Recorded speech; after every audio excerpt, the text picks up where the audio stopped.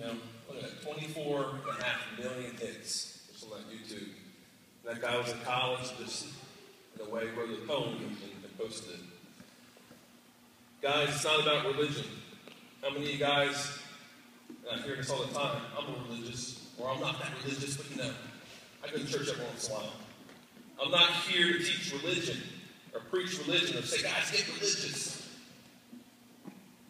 Just like he said, religion, which is so many religions, is man searching after God. Guys, something called grace, something that's hard to comprehend.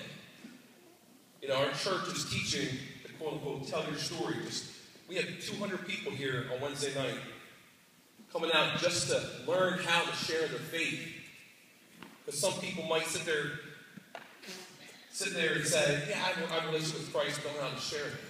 Where are you guys at? Do You guys call yourself religious? Maybe not. Do You guys even think about it? You guys care?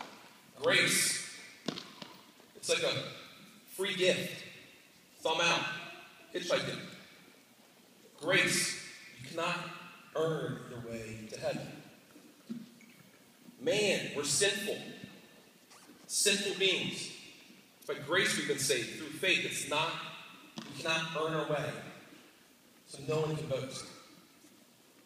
God, look, grace, hitchhiking, man, sinful, pointing at you.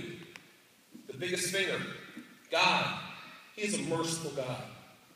He's also a just God. He has to punish sin.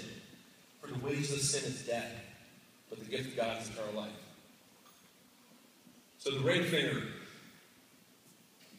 the church the bride, Christ. He sent Christ down to save us. Guys, the crucifixion on the cross is the most gruesome death ever in that time. God sent his son down.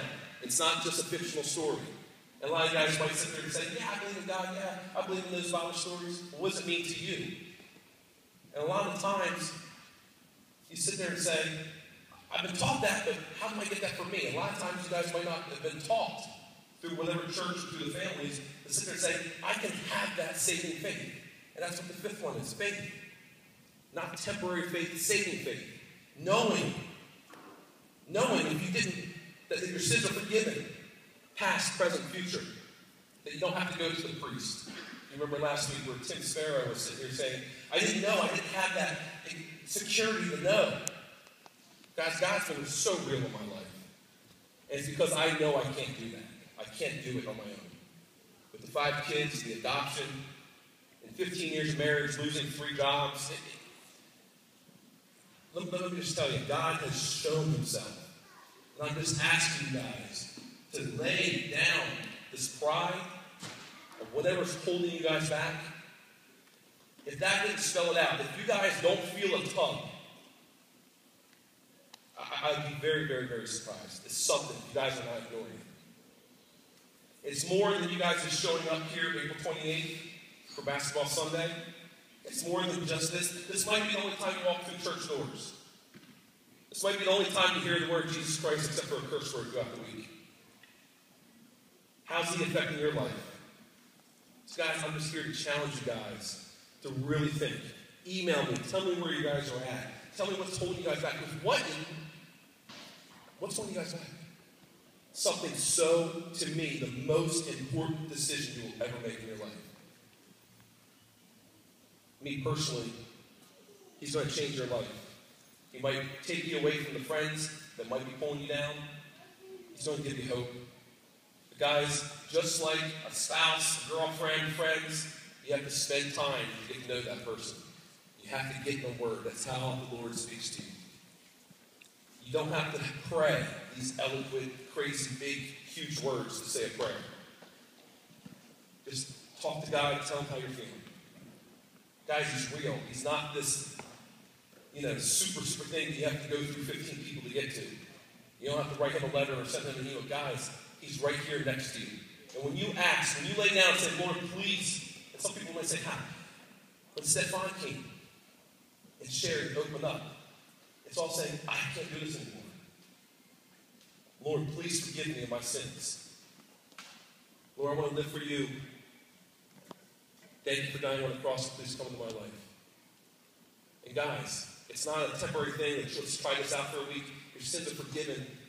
And just like Stefan will be living with Christ in eternity. So again, if Christ, when you guys die, and God says, Why should I live in the heaven? If there's any other answer except, Lord, I do not deserve this, but because of Jesus Christ dying on the cross, that is the only way. So when God looks at me, he does not see my dirty, sinful self. He sees what Christ did on the cross. So guys, let's say it prayer. Lord, thank you for tonight. Thank you for the, the games, Lord, keeping everyone healthy and safe. Lord Jesus, we do lift up Naira and uh, towards Achilles last week, Lord. Heal his body.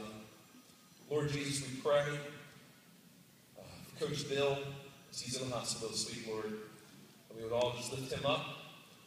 You would heal his body, Lord. Keep him safe. Bring him back this week and be with his family, Lord. In Jesus' name, amen. amen. hey, guys, real quick. April 28th, 10 o'clock. Meet over in the main, main sanctuary. Rich, myself, coaches will be out there. I'll reserve a couple um, uh, pews. 10 o'clock. Afterwards, and for the kids, we can register them. There's a couple options. Older kids, first grade and above, after worship, can go upstairs to Cool Kids Church. If they're younger, go to the nursery. Worst case, if you guys need to, right in this room, they, they watch the service live. I take my baby in there every other week.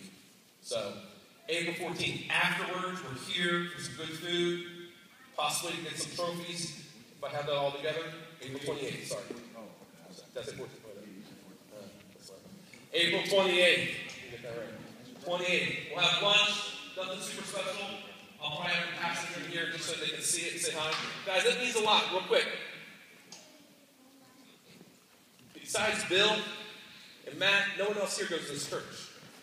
So I sent this email out. What does that say to the church if you guys do not show up? That of 18 weeks, these guests can't come from one service. So that's what I'm asking, guys. Besides the point of another opportunity for you guys to, to experience church or hear the gospel, but you guys show the respect to come and say, hey, we respect this league. We want to come, at least come to one service. So remember, April 28th, 10 o'clock.